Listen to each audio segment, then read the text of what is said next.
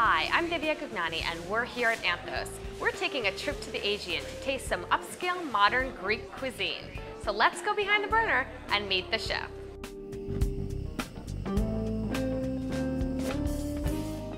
I'm here with chef and owner Michael Psilakis. What are you making for us? Uh, well, we're making a big kind of Greek salad. We play around with Greek food here at Anthos. We're going to take all of this, we're going to toss it together with a, a, traditional vinaigrette, a red wine vinaigrette.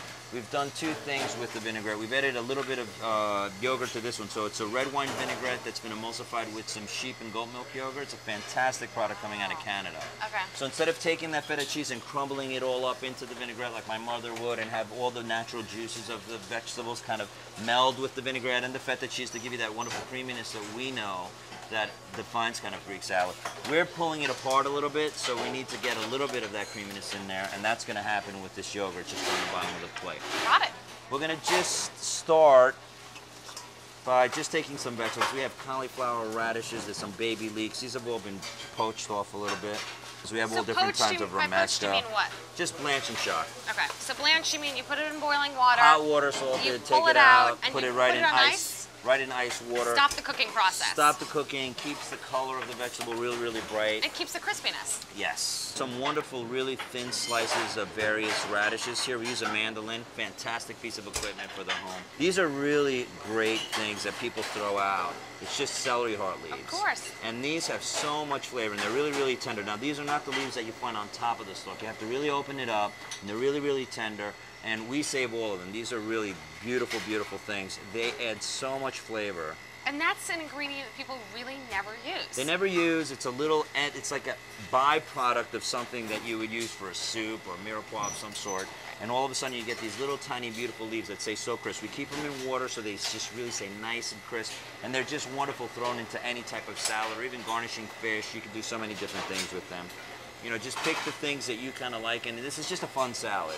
It really is. It's almost like a crudité, kind of mixed up with a little bit of Greek flavor, and it's a lot of fun. We're gonna take now, this is just that Greek yogurt that I was talking to you about. With the red wine. With the red wine vinegar. Red, red yeah. wine vinegar.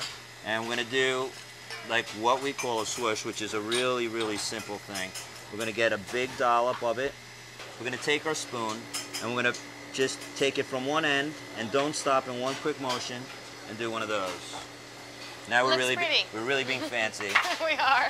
Okay, and we have an even fancier platter that we serve it on I was just going to tease you about that.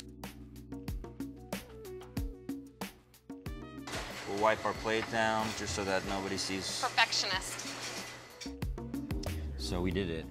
Uh, We came back out here. We made a, our, our famous Anthos Greek salad. We took all these wonderful vegetables. We have a ton of root vegetables in here. Wonderful carrots, turnips. There's white asparagus. There's uh, patty pan squash. There's artichokes. We have all different types of radishes. We have heirloom uh, tomatoes, and we have heirloom eggplants, and we have three different types of lettuces, and we have obvious the big ingredient here, feta cheese. You can't have a Greek salad without feta cheese. I don't think so.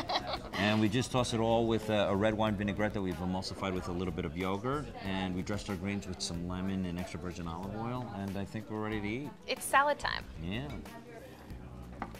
I think what's fun about this salad is that Crisp get and to beautiful. you get to pick what you want to eat, and then you could fold in some of this feta cheese as well, and you can see how The feta cheese is just tangy, and then you have the citrus kind of Mm-hmm. pungentness of the lettuce, and then here you just have this kind of mild, really kind of fresh, light vegetable fresh, flavors. Yeah. light vegetable flavors.